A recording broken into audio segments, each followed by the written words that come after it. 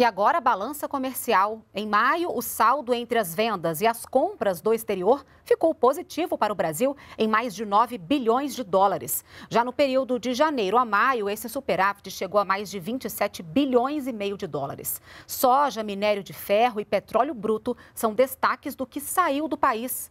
A Ásia é o maior comprador dos produtos brasileiros, com destaque para a China.